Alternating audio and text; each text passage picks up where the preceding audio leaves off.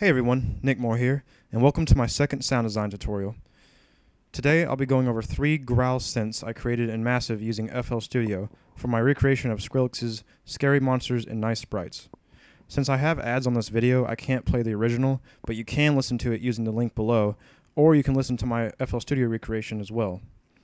I also just wanted to quickly say thanks to all my subscribers for liking and commenting on my videos, and that I'm proud to say I just hit 500,000 total plays. Anyway, first I'm going to let you hear each synth, and then we'll start the lesson.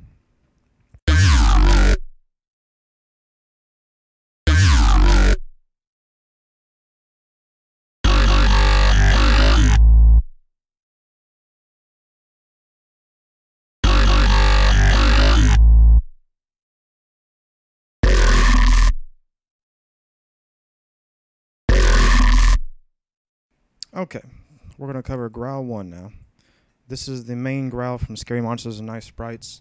Uh, it's my recreation, obviously. It's not going to sound exactly the same, but I don't have the same synth that Skrillex used for that. He used FM8 supposedly, and I don't have FM8, so I used Massive. Anyway, what you're going to first want to do is open uh, a new instance of Massive. So if you don't already know how to do that, or you haven't already done that, right click and go to Insert and Massive. I'm not going to do it since I already have in this case. Uh, next, you want to go to File, New Sound, just to make sure that everything's set to default and massive. After you've done that, we're going to put the notes in there. And they are as follows. It goes from D sharp 4 down to G2. And you'll notice I have one starting early and ending early and one starting late and ending late. They're both within two bars, but the reason I have it like that is so that it slides from the top note to the bottom note. And I'll show you how to set up Massive to do that uh, shortly here. So now that you have the note set up and Massive set to a default state, this is what it should sound like. Pretty bad, right? But that's just because we haven't done anything yet, really. All right, now we're going to go to setting up the effects. So make sure you have your massive set to uh, a channel with nothing on it. So in my case, that would be 30, although I have mine set up for this tutorial, of course, but make sure you set up a channel and have nothing on it except for what I tell you to add. So with your new channel, you're going to want to add these three things. First, the Fruity Parametric EQ2, which is an equalizer. Second, something called the WoW filter, which is a third-party plugin that does not come with FL Studio by a company called Sugar Bytes. And then third is Fruity Flangus. So to go into detail, uh, with the first one, it's an equalizer. And these are the settings I have for mine. Yours don't need to be really exactly the same or even really close at all, honestly. They could be flat and it'd probably still sound pretty similar. But I made like uh, mine like this just for this tutorial so that I could get a sound I wanted, you know, uh, just quickly and easily. The second one is the WoW filter. Again, like I said, this is a third-party plugin by a company called Sugar Bytes. I've, I've provided the link for it below this video, so feel free to visit the site and purchase it if you do want this plugin and you don't already have it. But basically what it lets you do is um, add vowels to sounds. And you can do this without this plugin, but it, this plugin makes it way, way easier. Um, that's why I like it so much. So anyway, once you have this loaded, you want to go to presets and click the drop down and go to val and change it to number 13, the vowel comb. And when you get to that, the first thing you're going to want to do down here under modulators is click the reset all button. Uh, just because the WoW filter has automatic automation between the vowels going already that's not in sync with the song. We don't want that. We're going to set up the automation ourselves. So click reset all and then change your settings to match mine. So overdrive should be right about 30. Vowel A should be U, and Vowel B should be an O with the dots above it. And by the way, if you don't know how to change the vowels, you just left click and drag up and down on them.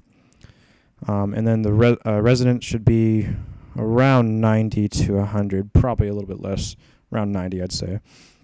And then the mix should be at 50 and the master should be at 100. Don't worry about what you have set under modulators, that's not relevant to what we're doing here. So that covers the WoW filter settings. And then the last one, the Flangus. Again, this is a free plugin that comes with FL Studio. Uh, just keep it on the default settings when you load it.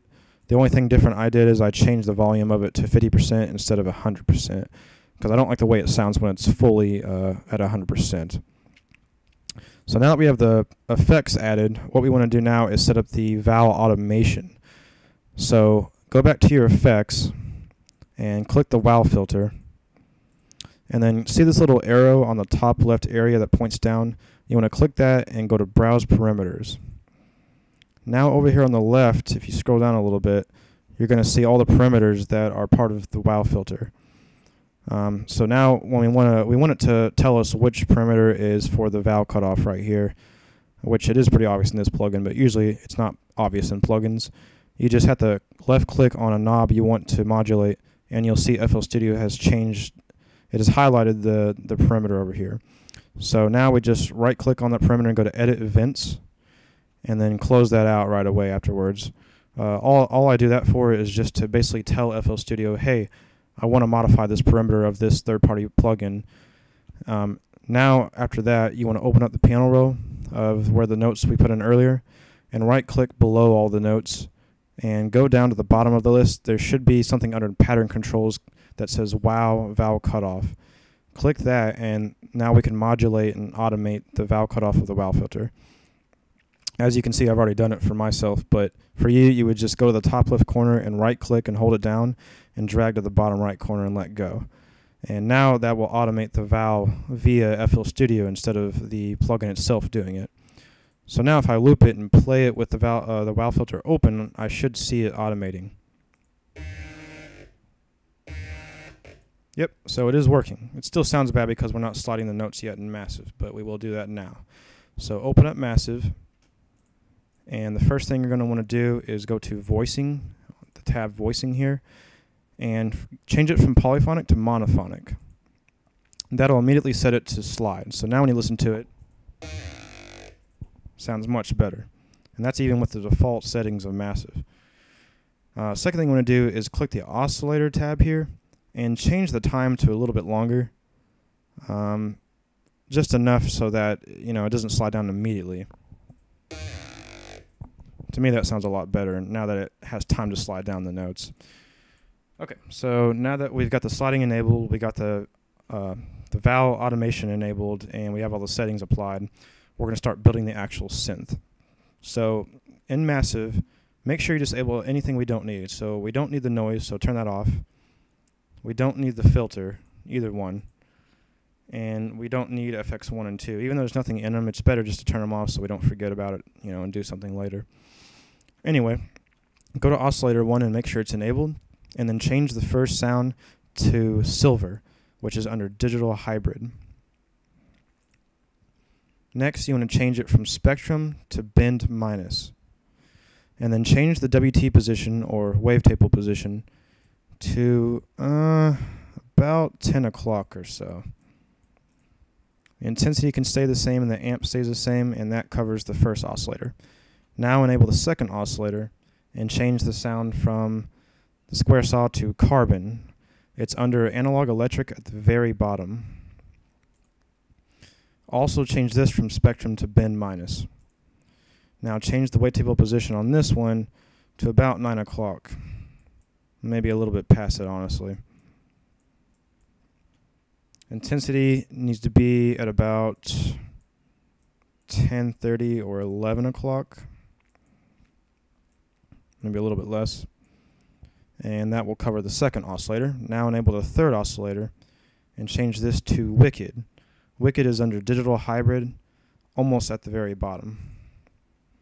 This one can stay as spectrum, however you do want to change the pitch to negative 12 instead of 0.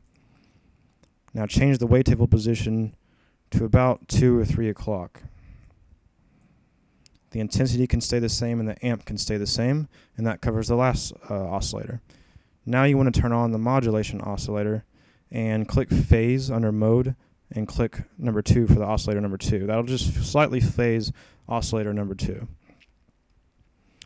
And now that covers all the oscillators. We're going to turn on the EQ built in the Massive and turn up the high shelf a little bit and the boost a little bit. This is all subjective and just depending on your mix, but I'm doing this for this tutorial basically. Uh, it just brings it out, makes it a little brighter sounding.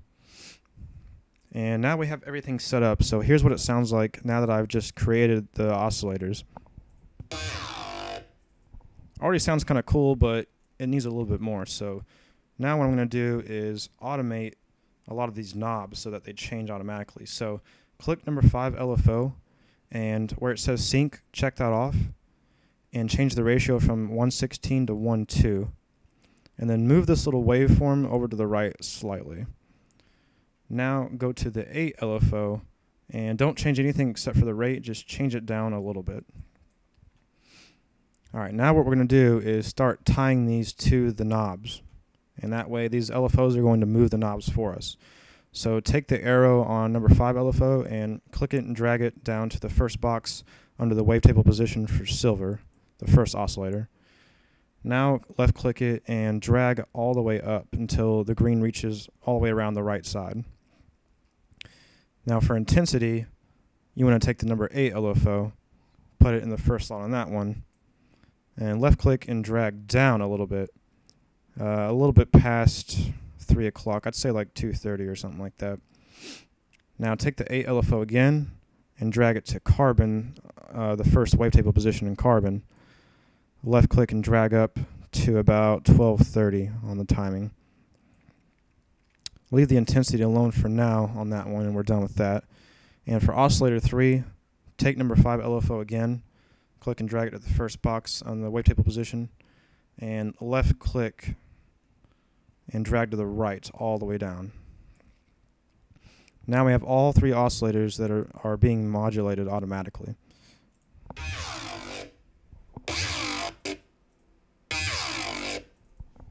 So that's roughly what it sounds like. It could be definitely be fine-tuned, and I, I bet it's overgaining in several areas, but this is the basic sound that I use to create these sounds for that uh, the recreation.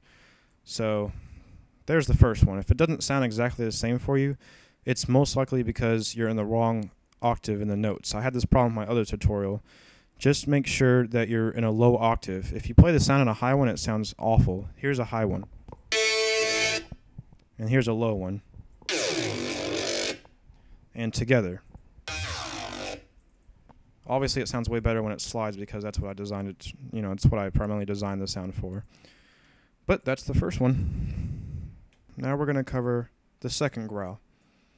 Um, this is the one that comes right after the initial first drop growl. It's based off the same thing, but when I was making this, I realized I had to layer three of them together to make it sound as dynamic, you know, or at least somewhat close as as dynamic as the one that it does in Skrillex's song. Uh, once again, he uses FM8 and I'm using Massive, so it does not sound the same. But I was trying to mimic kind of like the the actual audio uh, techniques of it. I don't really know how to explain it. I guess the characteristics is the way I'm trying to explain it. I was trying to replicate the characteristics of it. So anyway, it's the same thing with these as in the first growl, whereas um, you got to have you know the wow filter set up for them, and I have all three of these set up on a different channel. So I have growl one here on channel 34, then I have growl two here on channel 38, and then growl three on channel 35. The reason I did that is because each of them, each one of them has a, a, a wow filter assigned to them. But it's the same settings in general as the other one. Uh, obviously, I took down the I took down the flangus on these a little bit because the second part is a little more grittier and raw sounding, so I didn't really want to spread it via the stereo too much. But other than that, it's basically the same. Um, same settings and wow, you know, all that stuff is the same. so we don't need to go over the effects again. Um, we do need to go over the automation for the WOW filters, though. Uh, what I did is kind of made them slightly different than each other, just so that you would hear the different parts of the synths coming through at different times. Uh, that was the best idea I could come up with to try to mimic Skrillex's growl at the time. So, for instance, if you look at the first one on channel 34, I'm going to go to the valve cutoff on 34. That's my automation for the first growl on channel 34. Now this one is on channel 38. So I'm going to go down here to valve cutoff 38. And it's pretty similar. In fact, it might even be the same. But I changed the last one slightly. This one is on, let's see, 35. So if I go down here to 35, yeah, you can see I reduced the amount on this one, so it's not quite as much. And I changed the dynamics of the actual sound itself in massive. So it's coming through at certain points and drowning out at other points, and it just basically makes them all sound kind of like they're all working together in a way. It's a little bit weird to explain, but it was the best I could come up with when I was doing this recreation. So anyway, we're going to start with growl 1 and start building the sound. So first thing I'm going to do, uh, and thankfully you can you can take note that these synths are a little bit less complicated than the first one we made, since these are layered. Uh, I didn't use all the oscillators and all of them. But anyway, uh, first thing to do again is disable the things we don't need. We don't need the filters. We don't need the noise. And we don't need the effects. So turn those all off. Now on oscillator 1, which is the only one we need, you need to enable that and change it to digital 2. Um, I always have trouble finding these when I'm looking fast. Yeah, that's it. So this one's under digital hybrid DigiCook 2 and it stays as spectrum, but you do want to change the wavetable position. Um, I'd say like 930, maybe 9, give or take. The intensity stays in the same spot. And we're not going to use the modulation oscillator in this, but we are going to use the LFOs. So go to the number 5 LFO, turn on sync on this one again, change it to 1-2 instead of 116, and then click hold or left click, hold and drag it to the first part in the wavetable position. And then left click, drag up all the way around. And then number eight's the same thing like we did last time, just change the rate down a little bit. And then click and drag number eight to intensity on the first oscillator and click and drag and hold down just slightly, just to change it a little bit. And then once again, we're going to turn on the EQ and turn on the high shelf and the boost a little bit. And that should be the first one. I don't want that metronome. okay.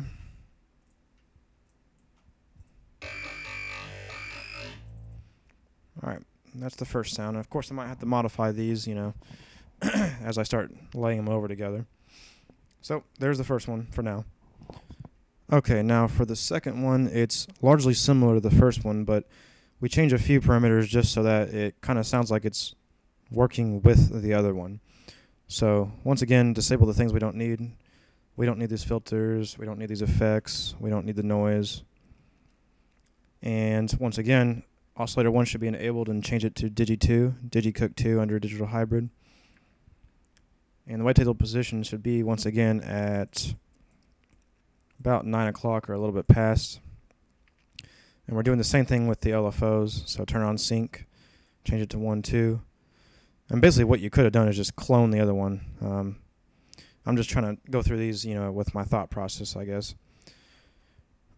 but anyway, the only difference with this one is with this number 5 LFO, we're going to move the wavetable over to about here so that it's starting off a little bit later after the first one. So that's what kind of gives it that kind of sound where it sounds like it's working together. And then once again, drag it to the wavetable position in the first oscillator. Left click, drag all the way up.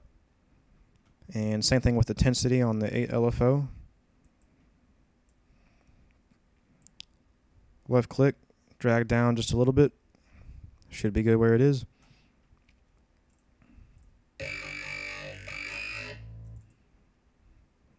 And now for the last growl. Okay, now for the last one, it's a little bit different. Once again, I'm sure you're used to this. Disable all the things that aren't necessary. We don't need the filters, we don't need the noise, we don't need the effects.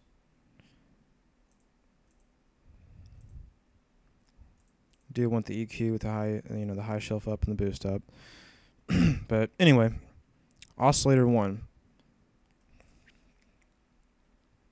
It's going to be additive octaves. It's under basic additive octaves. Um, now this one should be right at around 12 o'clock in the position. And the intensity stays the same, the amp stays the same. However, you do change it from spectrum to bend minus. Now enable the second oscillator and change it to carbon that we used way in the beginning under analog electric. It's all the way at the bottom. And that is also bend minus, not spectrum. And change the posi uh, position of carbon to about 1 o'clock. The intensity should be at about 3 o'clock. And the amp stays the same and then enable the third oscillator and change that one to wicked, which we also used before. It's under digital hybrid, almost to the bottom. Now this one should also be um, spectrum, but you do change the position of the wavetable to um, about 10 o'clock or so, and the intensity is about 1 o'clock.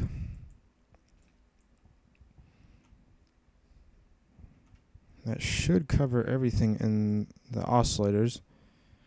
Now, when you go to the number 5 LFO, once again you enable sync and you change it to 1-2 ratio.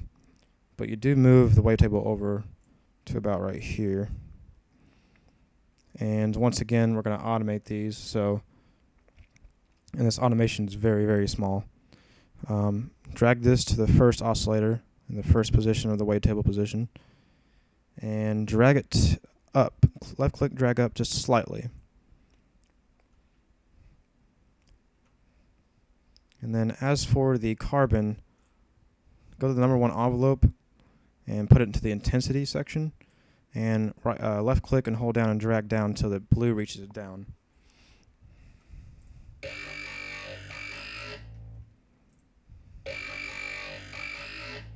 So it sounds kind of cool, but something sounds a little weird. So I'm going to go through and you could observe me and I'm going to try to adjust it to make it sound a little bit better.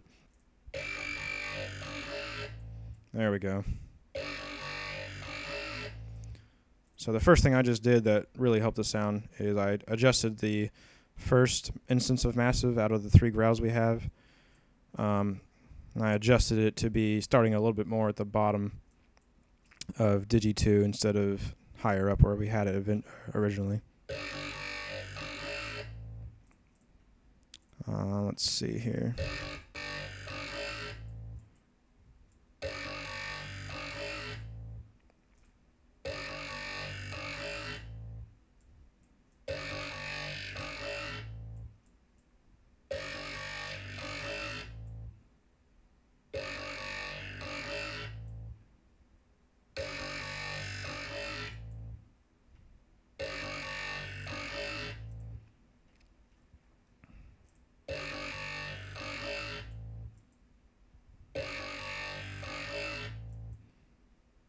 Oh, there's one thing I did miss is you, you need to take the uh, wicked down to negative 12. I totally forgot about that.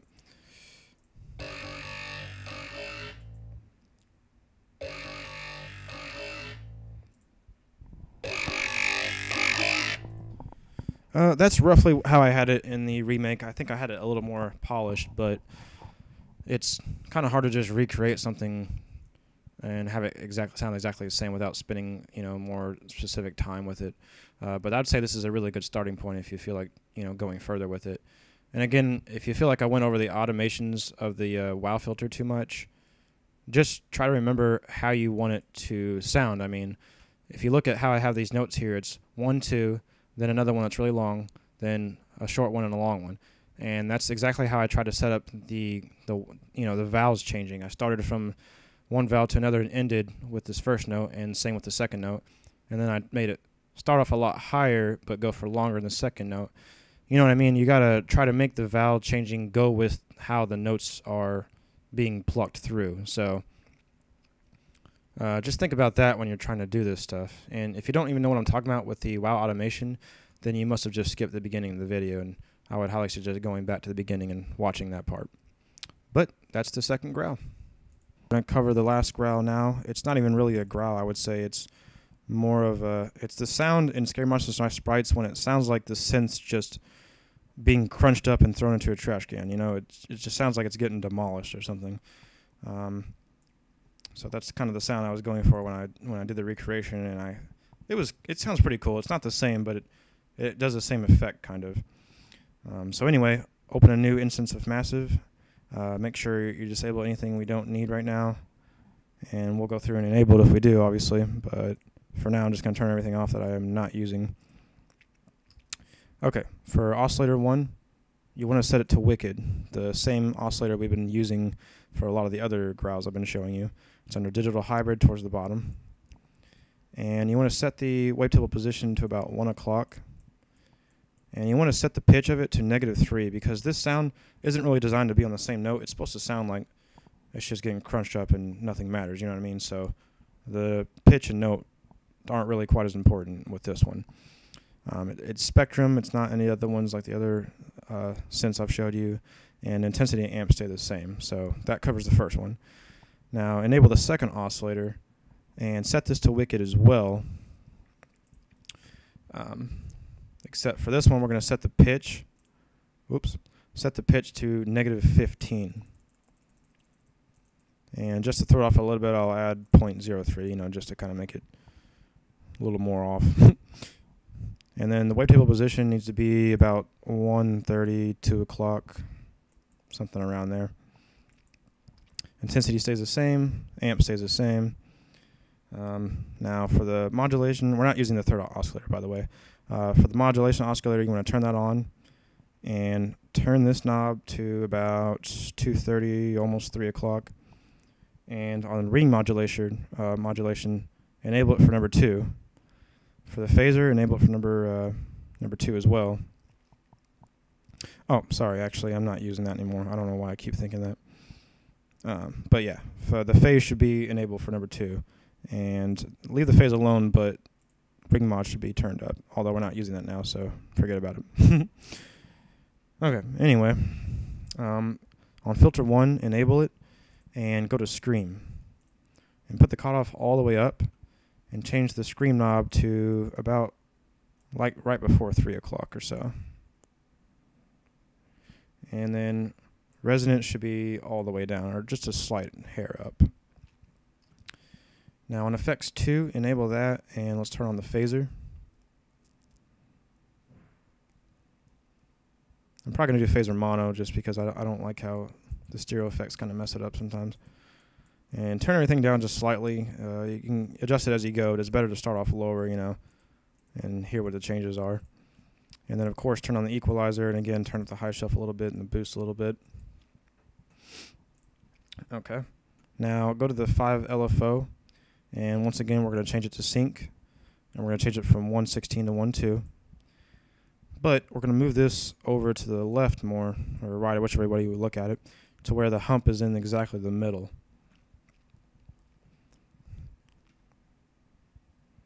And we're, we're going to take what we just did with this LFO and assign it to the first oscillator in Wicked. And left click and drag it all the way down to the left. Now on a number 8 LFO, it's the same as before. We're not messing with really anything. We're just moving down the rate a little bit. And click and drag that to the intensity on the first uh, oscillator. Left click and drag down a little bit, a little bit past uh, 3 o'clock. and take number 5 LFO again and put it to the second oscillator. Left click, hold down, and drag all the way down. And that should cover the whole area there. Now, the note for this one I have pretty low. It's on it's on the G2. And it already sounds kind of like uh, what the original sound was. It's a little bit too busy though. So I'm going to adjust it.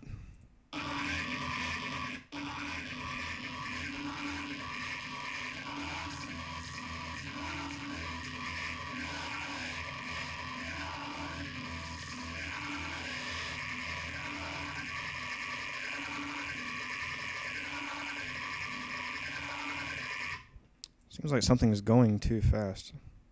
Maybe it's this. Hmm.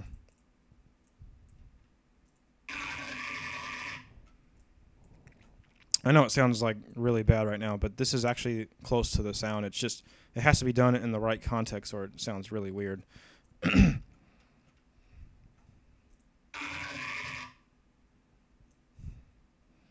Something still doesn't seem right.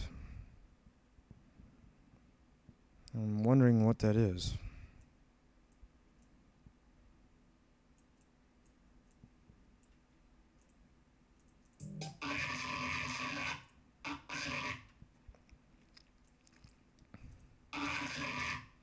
Yeah, that's actually pretty close. You have to think about it with in that slight moment, like when something drops and then you hear this, you know sounds like something's being crushed up and twisted around. But like I said, it's it's got to be in the right circumstance and environment, and it's not supposed to be on the right note or anything. It's supposed to sound just like, you know, some kind of angry monster or something. Uh, but of course, it can sound better with more editing and such. But this is actually what I started with and what I use. So uh, I hope that helps you. and that's it for the last one.